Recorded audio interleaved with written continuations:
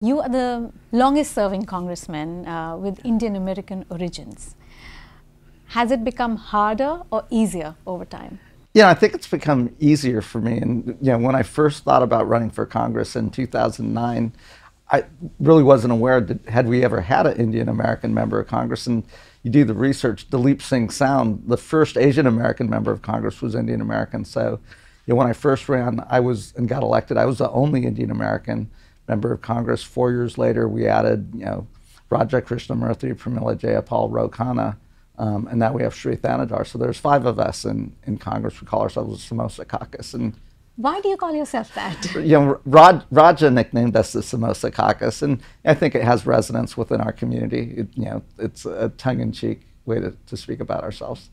And when you say you were the you were alone in Congress at that time, was it daunting? So I ran as the son of immigrants from Gujarat. Um, you know, the values that we were raised with, the values of family, hard work, commitment, you know, paying it forward. To me, those are all American values. So that's what I brought to, to Congress. Um, but I also felt an obligation as the only Indian American member of Congress. You know, I don't see myself as a role model, but obviously it was there. So how do we inspire more folks to to run and you know, we may see the first Indian American president in the United States, but across this country, you're seeing, you know, um, folks as attorney generals, mayors. I just think you will continue to see more Indian American representation.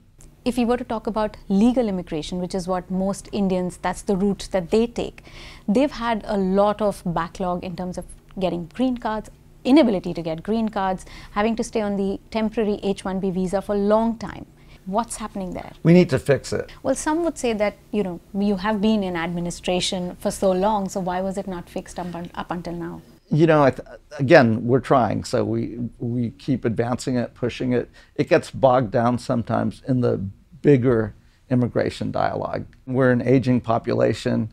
You know, we need those legal immigrants coming in, adding to who we are as Americans, um, adding to our economy. That's what we did so well in the 60s and 70s uh, and it was a real good formula for, you know, my parents benefited from that, um, but generations of Americans benefited from that. And we ought to fix that. I think the first step is separating the border from legal immigration.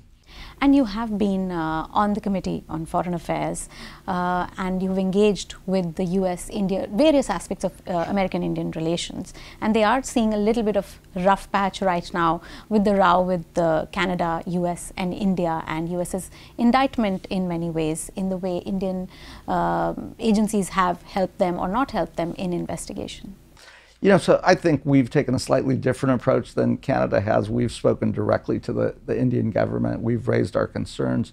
Obviously, any country is going to protect its own citizens, and you know, um, transnational crime where another country is perhaps um, sending assassins, that's not going to be accepted in the United States. It won't be accepted in India either. Um, so we've got to resolve that issue. But, but India has denied its role in that. Well, I mean, we've had um, we've taken a different approach with the Indians and had direct conversations with them. And obviously, you're seeing folks being held accountable in the Nikhil Gupta case. Um, that said, in the broader picture, though, we have a lot that we're doing with India on the economic front, on the maritime security front, and those are all incredibly important issues. So India is a vital partner for us, and we do a lot um, politically with India.